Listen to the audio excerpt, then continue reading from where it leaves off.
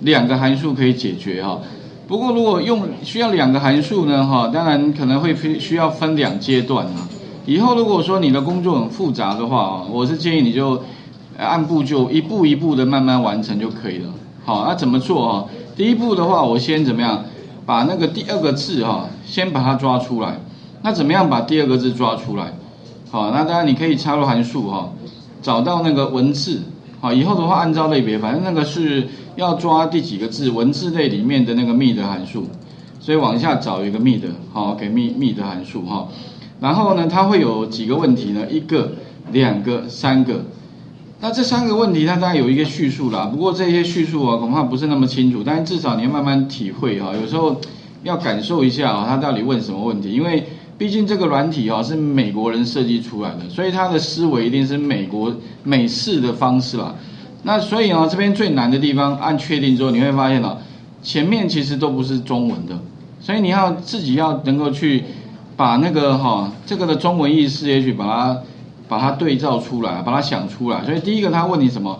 哎，你要这个第一个，所以哈，我觉得最难的应该是大部分同学看不懂前面的意思啊。不过在前面当然哈。也会有一些叙述让你知道，哦什么，呃，不过这个叙述有点，说它文言好像又不是很文言，说它没有条理哈，因为为什么为欲从中抽取文什么字源的文字串，好像你全部读完之后，你还是不太知道到底什么。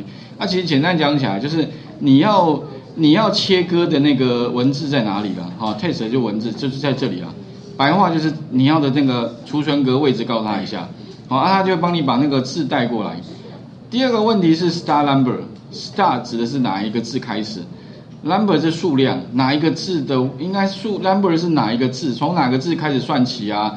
那我要的是第几个字呢？第一个、第二个字，所以这边输入二就可以了。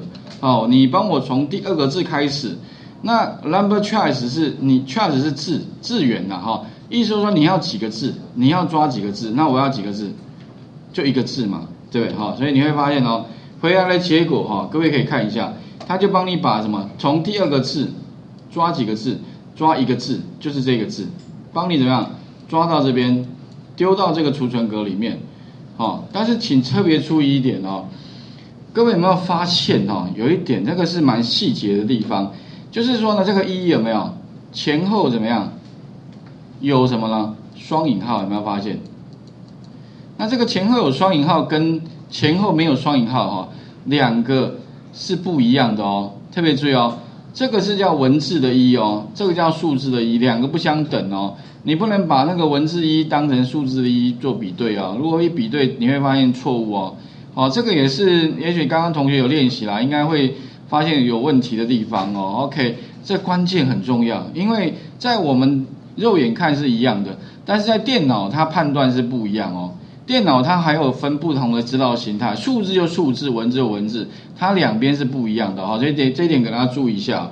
所以按确定之后的话，是一，但是这个一是文字的一哦，OK，所以第一步完成了，好，那完成之后，接下来我不是要这个结果啊，你不是说哎哎自己把它变成那个就是男跟女哦，所以我们接下来还需要做什么？跟刚刚这个一样，逻辑。不过呢，我不希望分两边。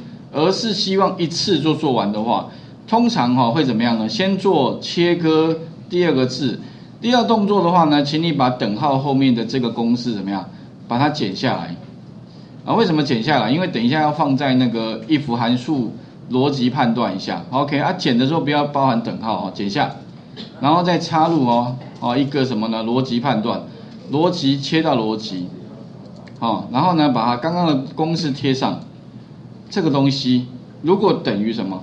等于一的话，等于一，那就是男，反之就是女。不过哈，你假设输入这样子啊，当然看起来好像没错，男，好，然后呢，反之就是女。可是呢，如果你这样子输入的话，不过你会发现啊，输入男女它好像前后也会帮你加上双引号，因为它是文字哦。OK 哈，那如果这样输入按确定呢？你想说逻辑好像没错，不过全部都是女生，为什么呢？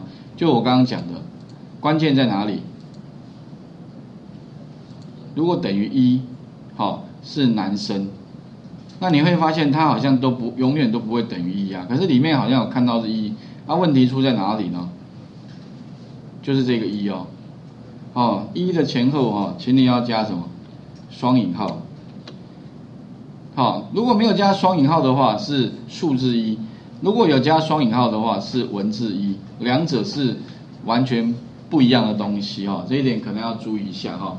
好，按确定哈，来看一下，哎，男有没有向下填满？男女女，哎，对，没错啊，所以你会发现哦，如果你会用方法的话，其实很快就可以得到你要的结果了。好，啊，其实，这工作里面太多类似有这种用法，因为其实如果你要做一些呃统计报表的话啦，哈，当然，比如说人家输入那个身份证号，你就不用再问人家你性别是男女了，已经告诉你了，你还在，那你就变成说你要自己去取中间的第二个字，就知道男女了吧？好，所以有些时候呢，会员资料里面只要有身份证号，就不需要性别了。为什么？因为已经有了嘛，对那但是你可能工程师或者是你后续处理的人员，就必须要会刚刚的方法。如果你不会，那很抱歉，哇，你事情永远做不完了。好，那接下来的话呢，哈，还有就是这个 left 称呼部分。好，那称呼部分的话怎么做啊？所以请各位先完成这里好了哈，我们大家进度也不要太太快，因为。前面几周我发现啊，大部分同学哈，这个程程度如果比较跟不上的话哈，一定要多练习啦。其实这种东西啊，你要能够会用，前提一定要熟练。这个就技能啦。什么叫技能？就是我比你熟练太多了。所以很多那个为什么技职体系，很多新闻是说，呃，为什么那个现在要回头要再继续推那个技职教育有没有？啊，主要原因是因为技职就一直做了。那我们现在普通大学就是。只是比较是偏学术研究，很会讲，但是不会做，哦，所以其实应该折中一点呐。不管你是普通的或者技职的这个大学，其实都应该也要会讲，也要会做，这才是比较合理啊。你不能说我技职，所以如果你又回头技职变成说他很会做，但是他讲不出来，啊，你会发现社会上很多这种人，他很厉害，但是你问他，他答不出来。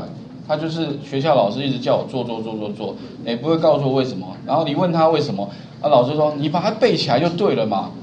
好，好吧，背起来，对不对？好，但是呢，在普通大学刚好颠倒，你就会讲就好了，你不会做也没关系，不，也不，大部分不比较不强调做，呃，尤其是那个文学院哈，好像也没什么要你做的。有啦，你们原制，我们原制比较特别，就是哈，中语系毕业的时候一定要有一个专题制作。就是一定要你做，啊，不过问题来了，啊，就全部都没有什么叫你做，突然要叫你把它做一个很伟大的东西出来，你怎么做？所以哈，从一年级开始就要训练各位会写程式哈。好，那请各位先试一下哈，把那个呃刚刚的 mid 加逻辑判断哈，试着先好把它做出来哈。